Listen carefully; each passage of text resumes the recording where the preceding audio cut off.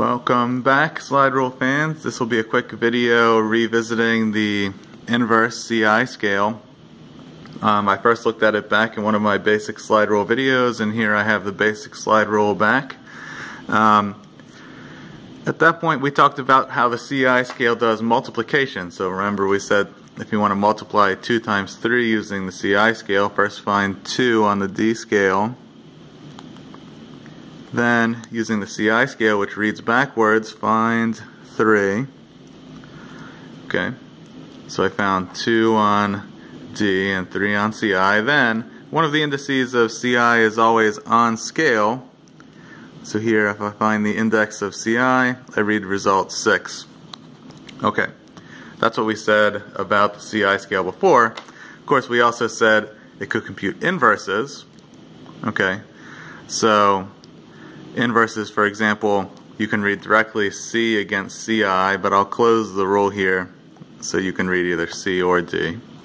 Um, for example, to find the inverse of uh, 23, you find 2, 3, so here's 2.1, 2, 3. On the C scale, uh, you read the result on the CI scale. Remember, CI scale is reading backwards, so 4, uh, 1, 2, 3, 4, 3, 5. Um, so C, uh, the C versus CI scale can read inverses, uh, D versus CI can do multiplication. And of course, remember that the C and the D scale, using those in tandem, can be thought of as um, solving proportions. So remember, if we set some sort of proportion, like say here, um, 2 to the 4, then that same proportion is set everywhere. Uh, here 1 to 2, here 1.5 to 3, um, here 4 to 8, 5 to 10, um, and so the C and the D can be used to solve proportion. Now, we're going to change this up slightly. So here's the idea, right? I take D1 aligned with C1 and D2 aligned with C2 and I can solve this proportion. Um, but if I change to the CI scale instead of uh, the C scale, versus the D scale, then of course it computes the reciprocals of these numbers, right? So if I, instead of finding the number on the C scale, I find it on the CI scale, uh, then I get its reciprocal. Uh, so here, I get this. Um, but of course, we know from our knowledge of fractions that this is the same as saying uh, D1 times CI1 equals D2 times CI2. And let's call this the CI slash D proportion principle, um, in other words, uh, from math class you know this is called an inverse proportion. Uh, and using the D scale and the CI scale can be used to solve those inverse proportions. The main idea is that if you read the uh, D scale versus the CI scale, um, you get a constant product instead of a uh, constant uh, quotient like you get uh, for the C slash D scale. So let's look at the 2 times 3 again. So here, let me find 2 on D and 3 on the CI. The product of there is 6, right? Well, um, so you have 2 times 3 is 6, but if you came over to 1.5, you also get 1.5 times 4 uh, which is 6. And then, of course, if you find the 1 either at this end or at the other index, the other number will be 6, uh, reading D and CI. And so, in fact, everywhere you set the cursor, you get product 6.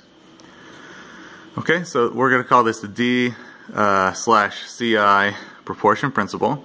Let's use this to solve a couple proportions. So say you have 3.5 times 1.5 as something times 2.4 you could find the 3.5 on D, uh, find the 1.5 on the CI scale.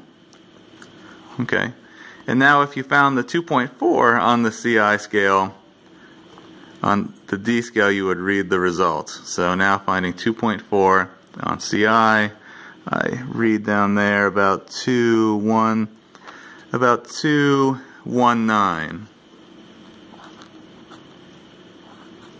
And interpreting the decimal place here 21.9 so what I did was here I said, okay, well I'll set 35 times 1.5 here, and then if I set 2.4 here, what is the other number I need for that product? 21.9. Uh, here's a quick app, another application. Um, say that uh, you want to do this computation, maybe 120 is a voltage, so this is a constant power calculation or something, you know, you have 0.42 amps, um, just as an example. Um, what could you do? Well, find the 4.2. Okay, found that on the D. Then align that with 1.2. Don't have to move too far. Align that with 1.2 on the CI. Then, if you come on the CI to 33, you read the other number you need for the product. On the D scale, about 1, uh, 1.5 looks like 3. So the interpretation in there is that you need a 0.42 amps at 120 volts. Uh, you get the same power from 1.53 amps at 33 volts, right? Okay, this has been a quick explanation of the CI uh, proportion principle. Uh, enjoy.